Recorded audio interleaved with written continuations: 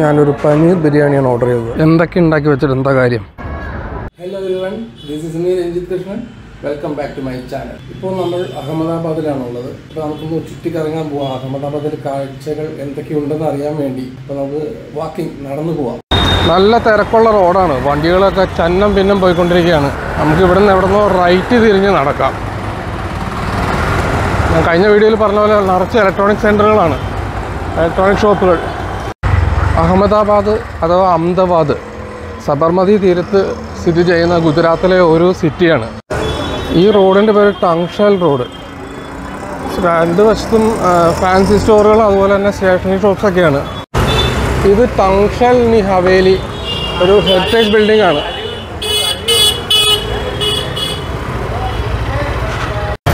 നമ്മുടെ ബ്രോഡ്വേ പോലെ ഭയങ്കര തിരക്ക്. അപ്പോൾ എന്താ എഴുതി ചെയ്യണമെന്നറിയില്ല എന്തോ പ്രധാനപ്പെട്ട സംഭവമാണത്. നോട്ട്ബുക്സും സ്റ്റേഷനറി ഐറ്റംസ് ഒക്കെ വിൽക്കുന്ന ഒത്തിരി കടകൾ ഇവിടെ ഉണ്ട് എല്ലാം അതുപോലത്തെ കടകളാണ്. ഒത്തിരി യൂസ്ഡ് ബുക്സൊക്കെ കാണാം ടെക്സ്റ്റ് ബുക്സൊക്കെ ഇത് മദൻ ഗോപാൽ ഹവേലി മാർഗ് എന്നാണ് ഈ റോഡിന്റെ പേര്.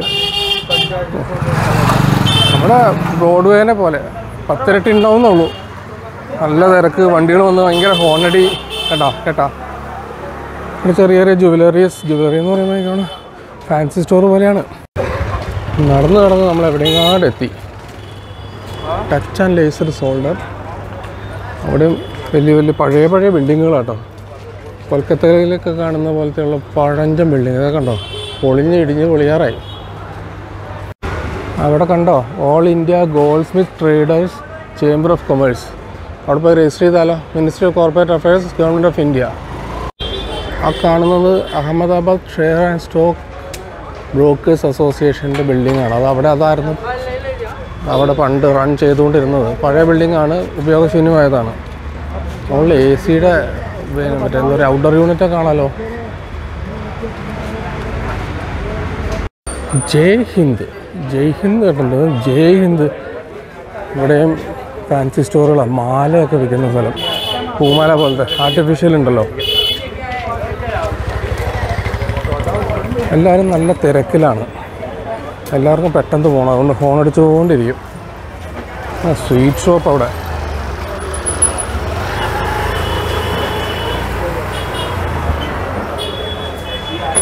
പിന്നെന്താണ് അവിടെ? അവിടെ ലോക്കുകളുടെ സ്റ്റോർ അവിടെ. പല പല സ്റ്റോറുകളുണ്ട് വീണ്ടും പഴയതും പുതിയതുമായ പല ബിൽഡിങ്ങുകൾ ഇവിടെയൊക്കെ തുണികൾ കമ്പിളി പുതപ്പുകളൊക്കെ ആ വിന്റർ വരെയല്ല? അതിന് വേണ്ടി അതിന്റെ വിൽപ്പനയൊക്കെ ഉണ്ട് ബാഗുകളുണ്ട്. അഹമ്മദാബാദ് എന്ന് പറഞ്ഞാൽ ഒരു കോട്ടൺ ടെക്സ്റ്റൈൽ ഇൻഡസ്ട്രിയുടെ ഒരു പ്രധാന സ്ഥലമാണ്. ഇന്ത്യയിലെ തന്നെ രണ്ടാമത്തെ വലിയ കോട്ടൺ പ്രൊഡ്യൂസറാണ് ഇത് ജാമി മസ്ജിദ്. അന്നത്തെ ഇവിടുത്തെ എന്താ റൂളറായിരുന്ന സുൽത്താൻ അഹമ്മദ് ഷാ നിർമ്മിച്ചതാണ് പതിനഞ്ചാം നൂറ്റാണ്ടിൽ അന്നത് ഇന്ത്യൻ ഇന്ത്യൻ സബ് കോണ്ടിനെ ഏറ്റവും വലിയ മോസ്കായിരുന്നു ഇതാണ് ജമാ മസ്ജിദ്. ആൾക്കാർ നിസ്കരിക്കണമെങ്കിൽ നിസ്കരിക്കാം. ഒരു മോസ്കാണിത്. കാരണം ഇതൊരു ദേവാലയമാണല്ലോ. അപ്പോൾ നമ്മൾ ചുമ്മാ അനാവശ്യമായിട്ട് കയറി അതിന്റെ ചിട്ടവട്ടങ്ങളൊന്നും തെറ്റിക്കുന്നത് ശരിയല്ല. നല്ല വെയിലാണ് ഇവിടെ പട്ടം പറപ്പിക്കൽ ഒരു വലിയൊരു സംഭവമാട്ടോ. ഇവിടെ ഇഷ്ടംപോലെ ഷോപ്പുകൾ ഞാൻ കണ്ടു. പട്ടം വിൽക്കുന്നത്. അവിടെ പിള്ളേർ പട്ടം പറപ്പിച്ചുകൊണ്ടിരിക്കുകയാണ്. അവിടെ കാൽ കൈയും മറ്റൊക്കെ ശുചിയാക്കുവാനുള്ള വെള്ളം അവിടെ കൊടുത്തിട്ടുണ്ട്.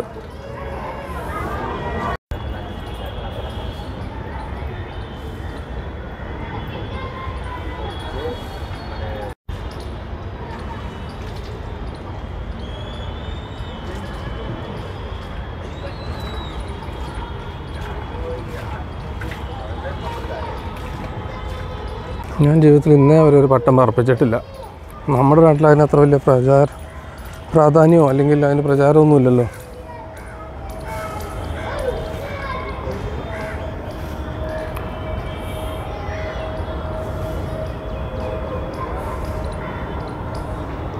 വൈകുന്നേരങ്ങൾ വന്ന് നല്ല രസമായിരിക്കും. അതവിടെ ഒരു ഫ്ലൈറ്റ്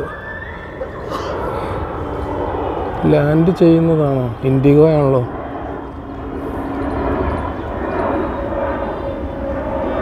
ഇവിടെ ഹാഫ് പാന്റ് ഇട്ടുകൊണ്ട് വരരുത്. ഹാഫ് പാന്റ് ഇട്ടുകൊണ്ട് വന്നാൽ അത് അലൗഡ് അല്ല.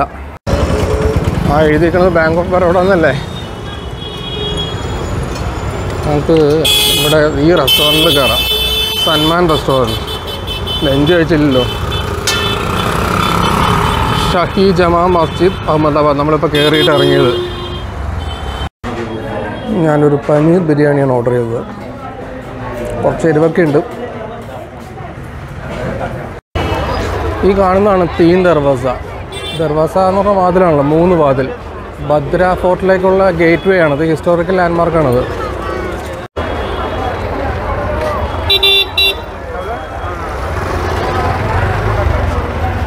ഫുൾ കച്ചവടം പൊടി പൊടിക്കാണ് ഇവിടെയൊക്കെ. എന്ത് തിരക്കാണോ. അതിന്റെ ഇടയ്ക്ക് ഇവിടെ വണ്ടികളും പോകും അതാണ് ഏറ്റവും കുഴപ്പം. വണ്ടി പോയില്ലായിരുന്നെങ്കിൽ കുഴപ്പമില്ലായിരുന്നു. ചാർമിനാറൊക്കെ ഉള്ള പോലെ.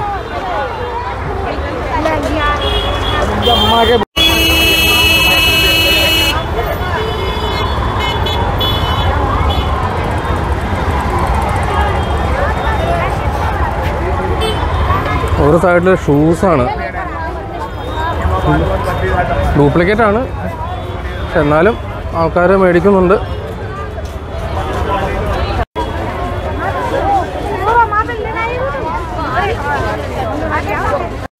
ഇപ്പോൾ ഈ തിരക്കിൽ കൂടെ നടക്കുക എന്ന് പറഞ്ഞാൽ ഒരു വലിയ ഭഗീരഥ പ്രയത്നം തന്നെയാണ്. എങ്ങനെ ഒരു സ്ഥലത്ത് നിന്ന് മറ്റു സ്ഥലത്തിലേക്ക് എത്തിപ്പെടും എന്നുള്ളത്? അത്രയ്ക്ക് തിരക്കുണ്ട് ഇവിടെയൊക്കെ കാണാൻ. ഈ അഹമ്മദാബാദിലുള്ള പല നിർമ്മിതിയും പണി കഴിപ്പിച്ചത് അഹമ്മദ് ഷായാണ്. ഏകദേശം ആ പതിനഞ്ചാം നൂറ്റാണ്ടിലത്തെയാണ് എല്ലാ കൺസ്ട്രക്ഷനും ഇവിടെയൊക്കെ കുട്ടികളുടെയും വലിയ ആൾക്കാരുടെയൊക്കെ സ്ത്രീകളുടെയൊക്കെ തുണിത്തരങ്ങളാണ്.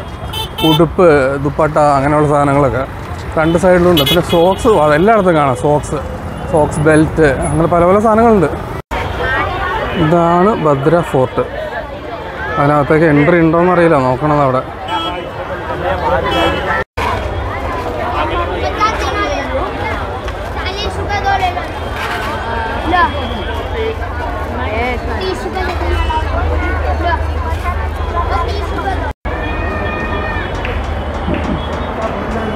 ഗേറ്റ് അടച്ചിട്ടേക്കുക ഇപ്പം ഗേറ്റ് കുലുങ്ങിയത് എന്താണെന്നറിയോ? ഇവിടെ ഒരുത്തൻ മറ്റേ ചുണ്ടത്ത് വെക്കുന്ന സാധനം ഉണ്ടല്ലോ അതിട്ട് തിരുമ്മതാ അത് ഗേറ്റിൽ ചാരിയുണ്ട്.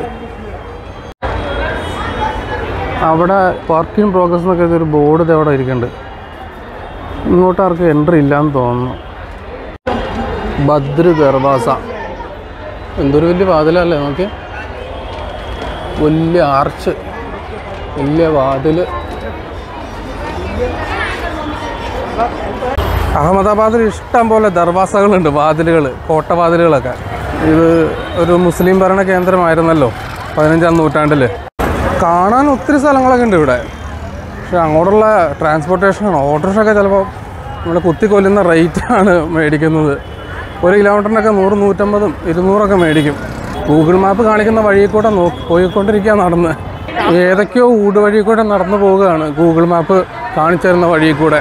അവിടെ ഇവിടെയൊക്കെ ചെറിയ ചെറിയ തട്ടുകട സെറ്റപ്പൊക്കെ ഉണ്ട്. ഫുഡൊക്കെ പാചകം ചെയ്യുന്ന ആ ഒരു കണ്ടീഷൻ കണ്ടു കഴിഞ്ഞാൽ ഭക്ഷണം കഴിക്കാൻ തോന്നുന്നില്ല. അതുകൊണ്ട് എനിക്ക് സ്ട്രീറ്റ് ഫുഡൊന്നും എക്സ്പ്ലോർ ചെയ്യാൻ അത്ര വലിയ ധൈര്യമില്ലാത്തതേ.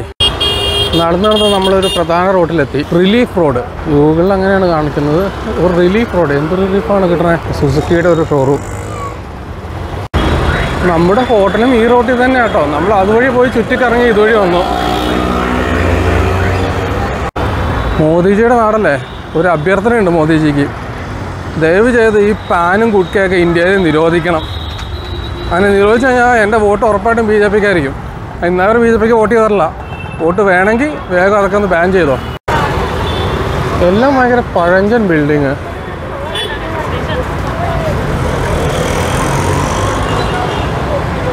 സൂര്യൻ അസ്തമിക്കാറായോ?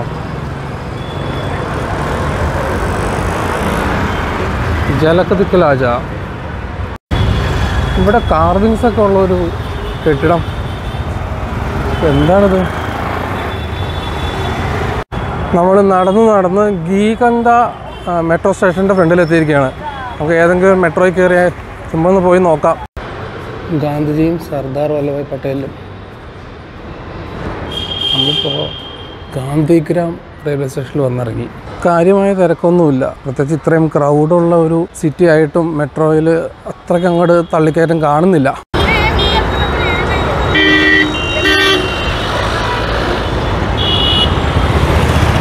നമ്മളങ്ങനെ നടന്ന് നടന്ന് സബർമതി നദീ തീരത്തിനടുത്തെത്തി.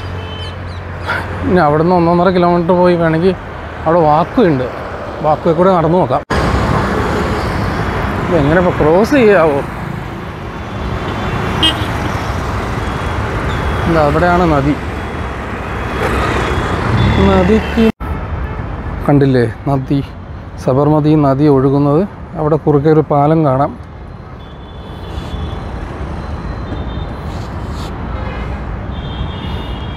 നല്ല ശുദ്ധവെള്ളമാണല്ലോ. വേസ്റ്റൊന്നും കാണുന്നില്ല. അവിടെ മറ്റൊരു പാലം. നമ്മുടെ മറൈൻ ഡ്രൈവ് പോലെ കപ്പിൾസ് വന്നിരിക്കുന്ന സ്ഥലമാണത്. പിന്നെ ചില സിംഗിൾ മച്ചന്മാരും ഉണ്ട് കേട്ടോ എന്നെപ്പോലെ വേറെ ആൾക്കാരൊക്കെ ഉണ്ട്. എന്തൊക്കെ ഉണ്ടാക്കി വെച്ചിട്ട് എന്താ കാര്യം? ഇന്ത്യക്കാർ ഇങ്ങനെ ചെയ്താൽ പിന്നെ എന്ത് ചെയ്യും? ഇതൊക്കെ നോക്കിയേ. എന്റെ പൊന്നു മോദി ഇതൊക്കെ ഒന്ന് നിരോധിക്കുക ഈ തുപ്പുന്നതല്ല ഈ പാൻ. പാൻ നിരോധിച്ചാൽ പിന്നെ തുപ്പുന്ന കുറവായി കിട്ടുമല്ലോ അഹമ്മദാബാദ് മുനിസിപ്പൽ കോർപ്പറേഷൻ. വേസ്റ്റൊക്കെ ക്ലീൻ ചെയ്യാൻ അതിനകത്ത് ചപ്പുചവറുകളൊക്കെ ക്ലീൻ ചെയ്യുന്ന വണ്ടിയാണല്ലേ അത്? അങ്ങ് ദൂരെ കാണുന്നില്ല. അതാണ് അടൽ വാക്കാവൂർ ബ്രിഡ്ജ് അതിന്റെ മുകളിൽ ആൾക്കാരൊക്കെ നിൽക്കുന്നത് ഇവിടെ നോക്കിയാൽ കാണാൻ പറ്റും. നേരെ മുകളിലേക്ക് പോയി കഴിഞ്ഞാൽ ഒരു വിമാനം പറന്നു പോകുന്നു. ലാൻഡ് ചെയ്യാനാണോ? ലാൻഡ് ചെയ്യാൻ പോണതാ. അടുത്തല്ലേ എയർപോർട്ട് കുറച്ചേരം ഇരുന്നിട്ട് പോവാം. നടന്നു നടന്ന് വിഷമിച്ച്. ചെറിയ തണുപ്പുള്ളത് കൊണ്ട് വലിയ കിതപ്പ് തോന്നുന്നില്ല. എന്നാൽ ഇത്രയും ദൂരമൊക്കെ നടന്നു കഴിഞ്ഞാലേ ഇടയ്ക്ക് റെസ്റ്റ് എടുത്ത് റെസ്റ്റ് എടുത്ത് പോവാം. വെർട്ടിക്കൽ ഗാർഡനൊക്കെ സെറ്റ് ചെയ്തിട്ടുണ്ട്. വെർട്ടിക്കൽ ഗാർഡൻ എന്ന് പറയാൻ ഇല്ല അതാ ക്രീപ്പർ ഒന്ന് പോ. അതാണ് അടൽ വാക്ക് ഓവർ ബ്രിഡ്ജ് അവിടെ ആൾക്കാരൊക്കെ നിൽക്കുന്നത് കണ്ടോ? ചെറിയ സ്നാക്ക് ബാറൊക്കെ ഉണ്ടല്ലോ അവിടെ.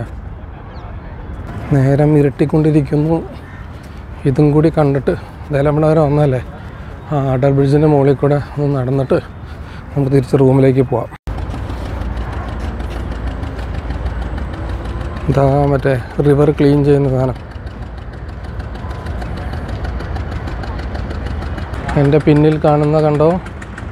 അടൽ വാക്ക് ഓവർ ബ്രിഡ്ജ് ഈ സൈഡിലേക്ക് പോയി കഴിഞ്ഞാൽ നമുക്ക് റിവർ ക്ലീൻ ചെയ്യുന്ന ആ മെഷീൻ ആ ബോട്ട്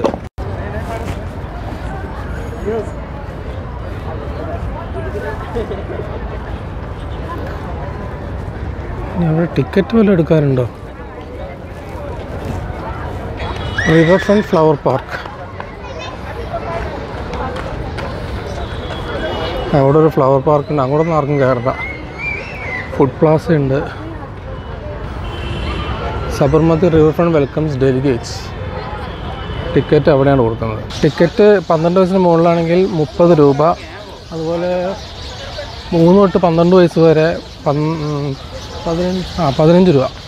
പതിനഞ്ച് രൂപ. പിന്നെ സീനിയർ സിറ്റിസൺ സിറ്റിസൺ ആണെങ്കിൽ ഫിഫ്റ്റീൻ റുപ്പീസോളൂ ലൈറ്റൊക്കെ ഇട്ട്.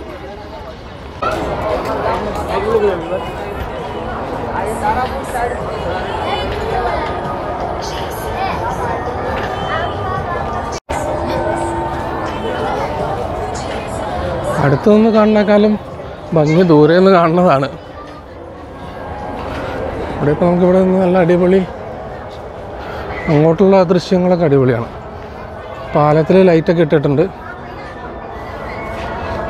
അവിടെ റിവർ ക്രൂയിസ്. അവിടെ ഒരു മുസ്ലിം പള്ളി കാണാം. അവിടെ നിന്നാണ് ശബ്ദം കേൾക്കുന്നത്. ഒരു കുത്തബ്മിനാർ പോലെ ഒരു സംഭവം അവിടെ എന്തോ ഉണ്ട്.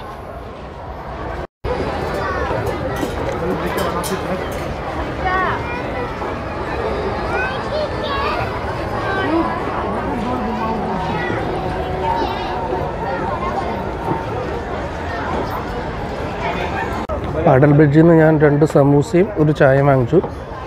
ടോട്ടൽ തൊണ്ണൂറ് രൂപയായി.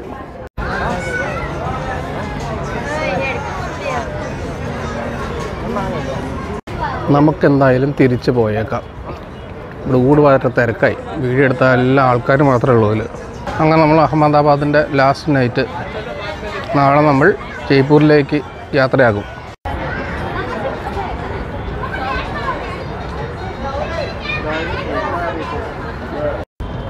ആ ഒരു ക്രിസ്മസ് ട്രീ ക്രിസ്മസ് ട്രീ ആണോ സ്ഥിരമുള്ള ട്രീ ആണോ?